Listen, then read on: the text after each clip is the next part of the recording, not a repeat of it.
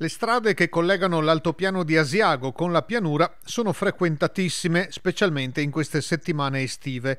Le code sono, per fortuna del comparto turistico, quasi all'ordine del giorno, ma chi si deve spostare per studio o per lavoro anche il resto dell'anno ha bisogno di arterie più scorrevoli e sicure. Abbiamo fatto degli interventi importanti sulla viabilità Abbiamo alcune aree dove ci sono eh, dei rischi di, di, incidenti come questi, delle curve a gomito, dove abbiamo impedito la realizzazione di muretti in, di cemento, per intendersi, proprio per evitare che si verifichino questi rischi. Sono allo studio alcune soluzioni che rendano più fluida e sicura l'intera viabilità dell'altopiano. Penso ad esempio eh, nel tratto che da Tresche Conca, cioè in cima al costo, porta al centro di Asiago. La vicina autostrada A31 è l'opera più moderna presente nel territorio, ma non basta. Però in cima all'altopiano bisognerà fare una serie di interventi che possano permettere anche ai nostri residenti che vanno a lavorare in, monti, in pianura quindi di poter eh, essere agevolati per eh, evitare appunto eh, un, un, percorso molto tortuoso che è quello da Tresche Conca